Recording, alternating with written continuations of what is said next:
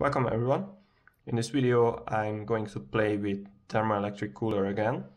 So I put together uh, two thermoelectric coolers here uh, on a water cooling block. So what we can see is that uh, we have the water cooling block and then the hot side of the bottom uh, cooler is connected to the block and then the cold side of this is connected to the hot side of the other uh, Peltier and then that is uh, on the top and the cold side is exposed to the air. So what I will do that uh, I will try to reach very low temperatures on this part of the of the cooler. And uh, what we have here is basically uh, on the top we have this uh, TEC uh, 12706 so basically 12 volts and uh, 6 amperes.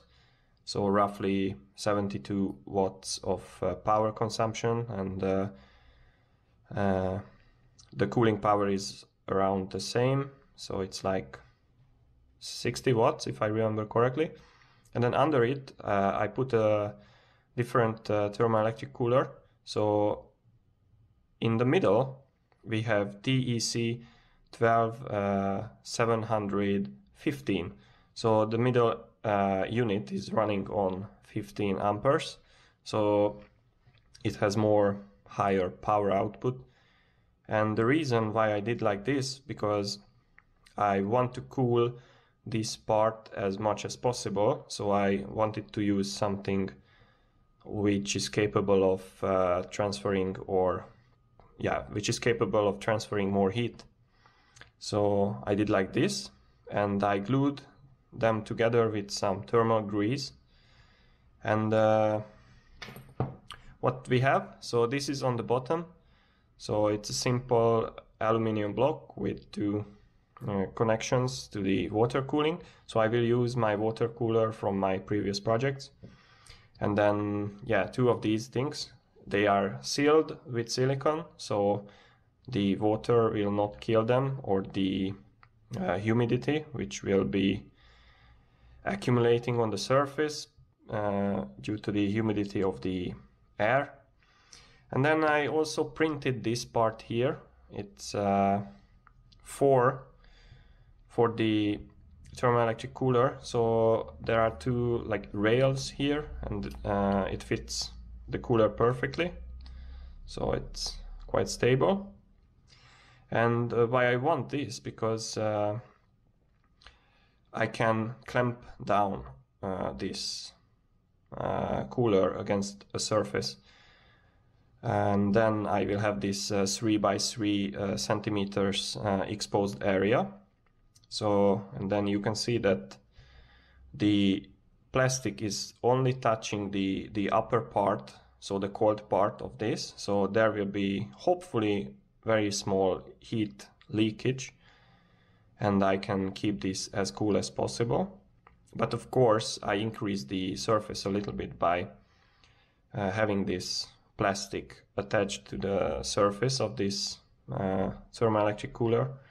But I really hope that uh, this will not introduce too much losses. So what I will have that I have a block like this. It's uh, some polystyrene uh, block and uh, we will put this in like this. So we get rid of most of the heat leakage and everything and then I put this on the surface and uh, use some screws and just screw on the top of it. So at the end we will have just this uh, 3 by 3 centimeters exposed surface and we will see how low we can go with the with the temperature. So this is basically the project. Uh, there is a small problem that uh, the glue is not cured yet, or I don't know, and uh, the upper part is a bit moving. But that's uh, that's why we will use this printed part and uh, clamp everything down. So it will make the wall uh, structure fixed. And then I have two thermometers I will use this infrared or I will use this uh, K-type uh, thermocouple uh, thermometer to, to measure the temperature and I will use as I said water cooling for, uh, for this uh, part.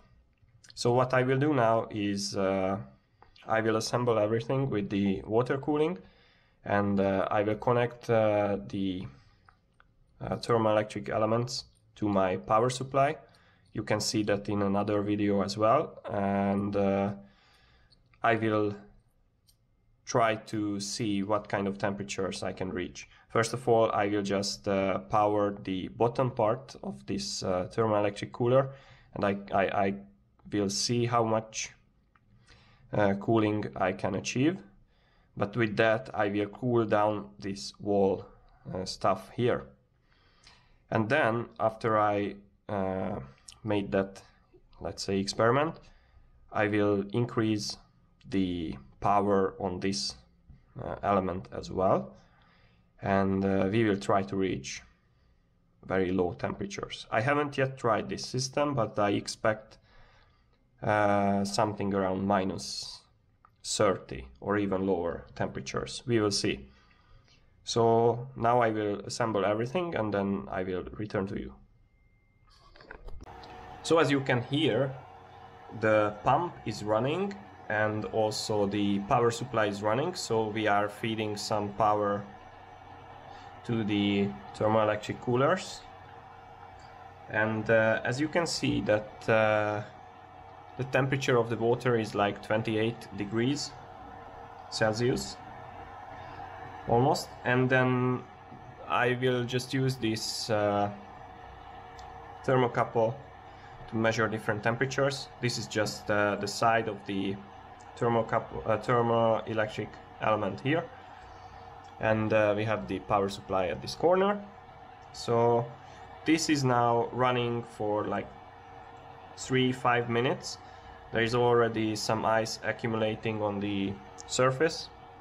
I put this polystyrene uh, piece just to uh, hinder the heat loss on that uh, part of the uh, cooler. But we have a lot of heat loss at this edge here because it's exposed to the air. And uh, the details that we should know now is that the bottom cooler is running at 8 volts and 14.2 amperes so it's roughly 114 watts of power. And the top part is running at 4.9 amperes and 7 volts so roughly 34 watts of power. So if I measure the temperature uh, on the surface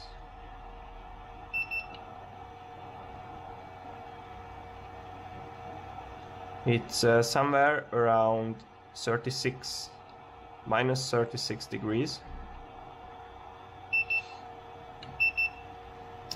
So now what I will try that uh, I change the power a little bit, so decrease the current, so I can uh, decrease the effect of the Joule heating and I will try to do that by dropping the the current here. And as you can see that this thermometer is immediately going down in temperature because now it's the hot side of the top uh, cooler is uh, is less hot.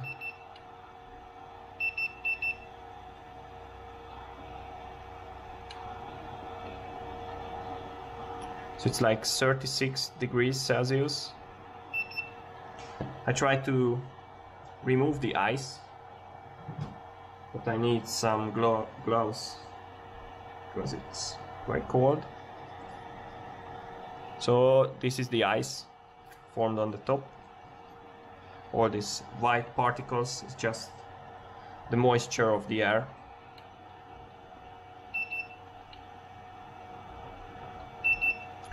Thirty-nine. It's not so bad.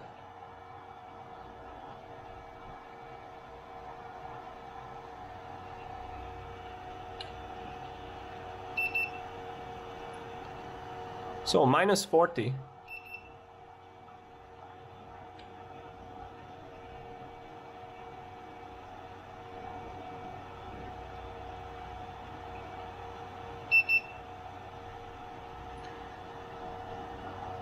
Minus 40.8.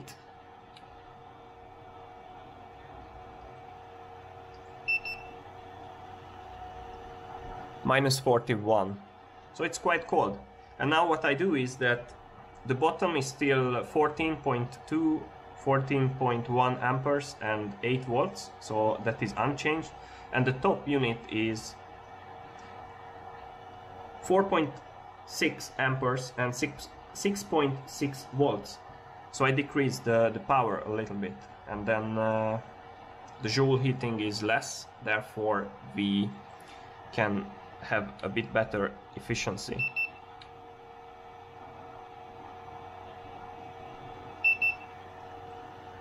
So yeah, minus 40. And as I said, the the cooler is not so isolated, especially on this side where we have the uh, water cooling. So here, if I could cover this part uh, better using some cloth or something, then I think that uh, the temperature of the exposed surface could go down uh, further by a few degrees.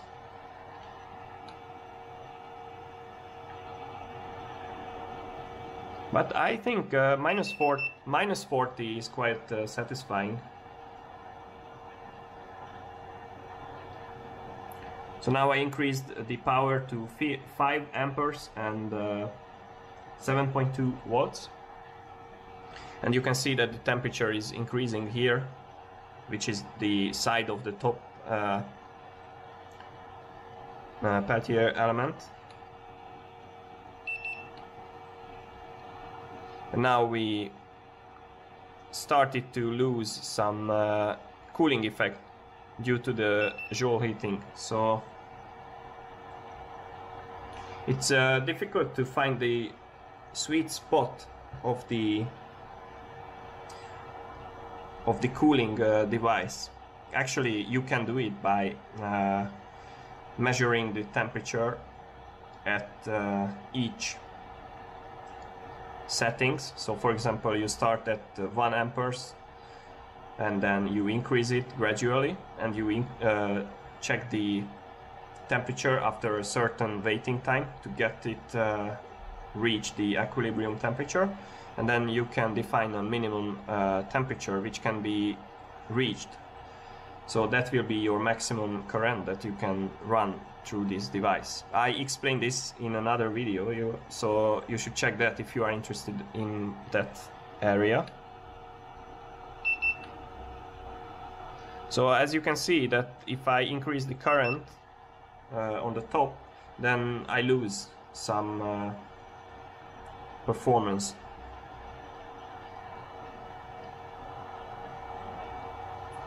and there are some air bubbles around the thermometer of the water. So this is not always precise.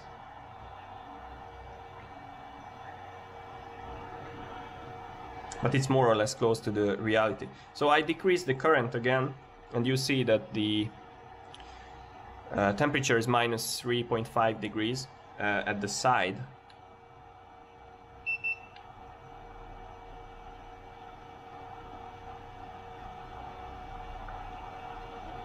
but seems like that we we are losing some efficiency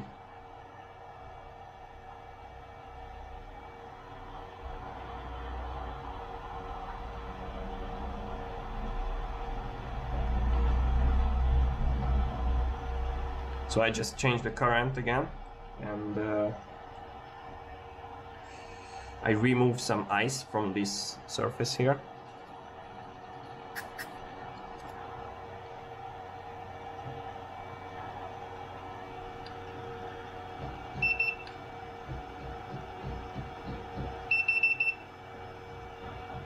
So yeah, we reached uh, this temperature. If you can keep your water cool enough, so like 25 degrees, then you can reach minus 40 with this system easily.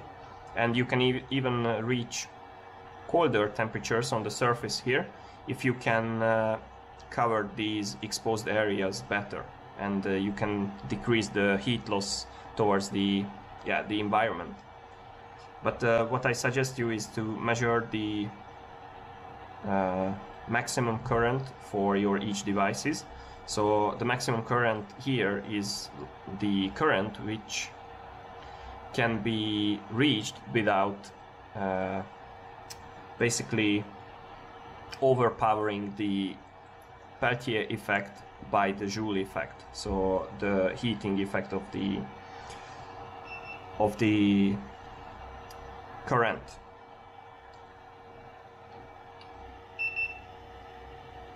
So here we have minus 35, but uh, yeah, when the water was a bit colder and uh, I had another setting for the current, then I was able to reach a bit better uh, temperature on the surface. But I would say minus 35, minus 36 is also quite okay. Minus 37. So it depends on